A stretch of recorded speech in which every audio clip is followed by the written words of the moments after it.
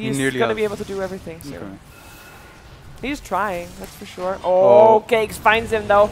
Kinetic Field, Static Storm, all for Relic, and they will be able to take him down. In the meantime, they also find themselves the Disruptor, or the Shadow Demon rather, the one that disrupts Mirana. BKB already ended, he has to be careful though, but the Moonlight Shadow keeps him up for a while. Briggs trying to run, Justin has still got that Aegis, will be able to help kill off that Kunkka before the Aegis respawns. I'm a Sheep sucks, getting burned to death by the bear. Justin, back up, and already fighting a bear. You cannot fight a bear. Uh, That's going to be at least Banner. They defended their rax, defended their tier 3 tower, which